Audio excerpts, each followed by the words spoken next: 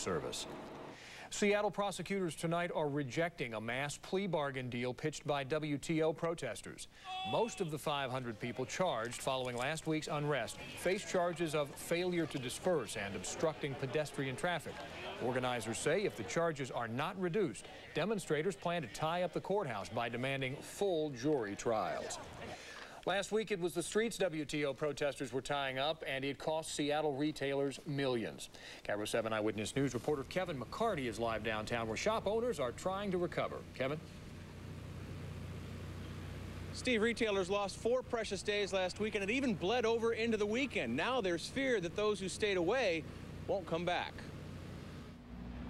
This is downtown Seattle tonight, all dressed up and ready for Christmas shoppers. This was downtown Seattle a week ago tonight, the battleground where WTO demonstrators staged sit-ins and protests.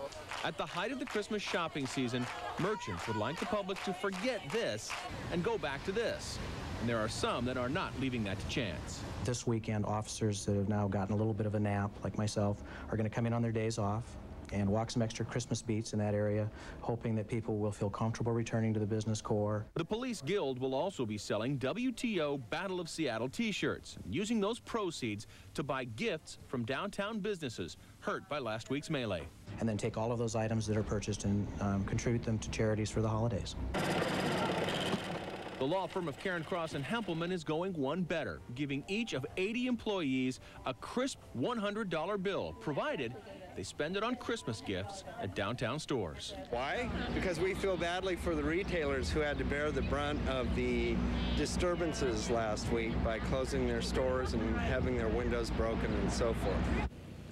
Retailers say they lost millions of dollars because of last week's WTO protests and the shoppers who stayed away. The hope is people left their Christmas shopping until this weekend and will come down and shop in droves.